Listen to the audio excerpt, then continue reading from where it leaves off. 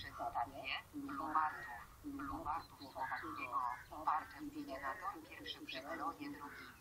Prosimy zachować ostrożność i nie zbliżać się do krawędzi peronu.